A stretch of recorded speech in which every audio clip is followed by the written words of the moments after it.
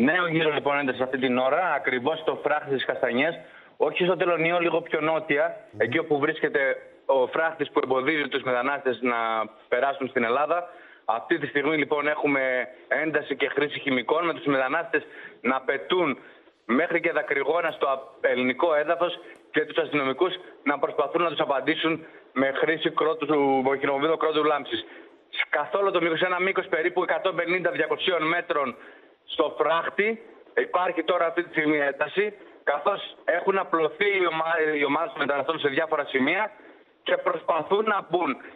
Η προσπάθεια των να μπουν γίνεται με διάφορα μέσα. Είχαμε τις προηγούμενες μέρες μέχρι και σκάλες, μέχρι και ε, ψαλίδια με τα οποία έκοβαν τμήματα του φράχτη προκειμένου να εισέλθουν στο ελληνικό έδαφος. Mm-hmm. Αστυνομικές δυνάμεις που βρίσκονται εκεί προσπαθούν να τους εμποδίσουν. Άκη και τώρα. Παναγιώτη, για οτιδήποτε νεότερο μας διακόπτεις και ε, παρεμβαίνεις, σα ελπίζουμε να ηρεμήσουν Εχθές που ήταν εδώ ε, τα πνεύματα. η ηγεσία της Ευρωπαϊκής Ένωσης, τους είχαν τραβήξει ένα-ενάμιση χιλιόμετρο πίσω, δεν είχε ανοίξει ρουθούνη. Με το που έφυγαν οι Ευρωπαίοι, έχουμε αυτά που έχουμε ε, σε εξέλιξη αυτή την ώρα και μας περιγράφει ο Παναγιώτης ο, ο Μανής. Παναγιώτη, σε ευχαριστούμε πάρα πολύ.